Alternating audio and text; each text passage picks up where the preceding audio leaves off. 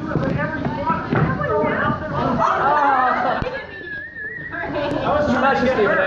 I can miss a few more times. I'm just gonna hand it to you. There you go. That was a good catch. I'll catch one. Yes. But I would say if you want to have Mickey in your living, the option of having him in your living room every day. That's you can buy exciting. program. Yeah. Yeah. But there's a lot of solo drills and a lot of partner drills and some good stuff in Yeah, we also have slow bal programs on there. Yes. Yes.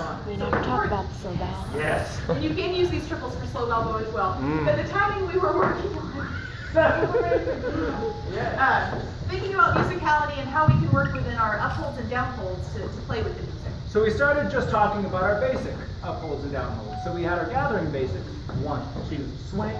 One, two, swing from all sides. Swing, release. Yeah, we talked about raising the floor with the feet and creating, rather than dancing on a track and keeping your feet wide, bringing the feet Or hold into, it. into that collection point.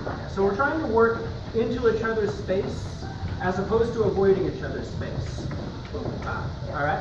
So then we had our downhold, a one, two, drive, a one, two, drive, one, two, drive, a one, two, drive. Boom, boom. And it can move a lot, or again, if the music gets quicker, You could just sing, sing. Down, that's very quick. Sing.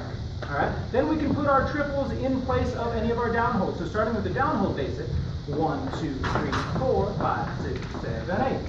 Two, three, four, five, six, seven, eight. One, Really two, thinking three, about it four, like that ball change. Boom, boom, shot, ba, ah. shot, ba, ah. Yes. So then we had our uphold triples. A one, triple step, step, step, triple step, step, step, triple step, step. So for the counters in the room, it's on two and three, six and seven.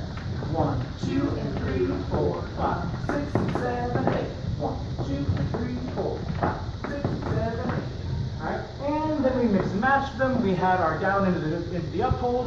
One, two, down, step, step, gather.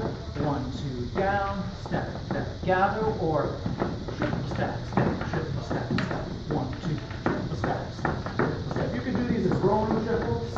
Uh-huh. Rolling. You can drive them, drive, swing, drive, swing, all sorts of ways you can Alright, so uh, we did that and we tried into a lot of different music. Um, what was the one you kept using?